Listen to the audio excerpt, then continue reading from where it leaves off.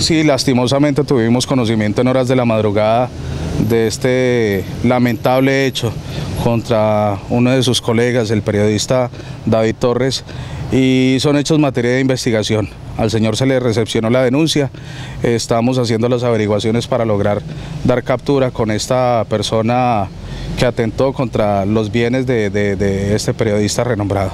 Precisamente estamos haciendo la valoración eh, de las medidas de riesgo allá en el municipio de Simití.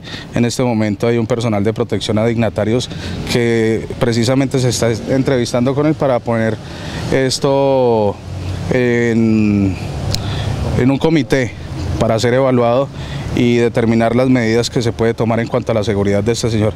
Mientras estas medidas se toman, la Policía Nacional va a hacer un acompañamiento de cerca eh, y a diario del periodista. Hasta el momento no tenemos eh, nada claro, nada concreto, es la denuncia que hace el periodista de las hipótesis de lo que podría haber sucedido y los motivos, pero todo esto está siendo materia de investigación.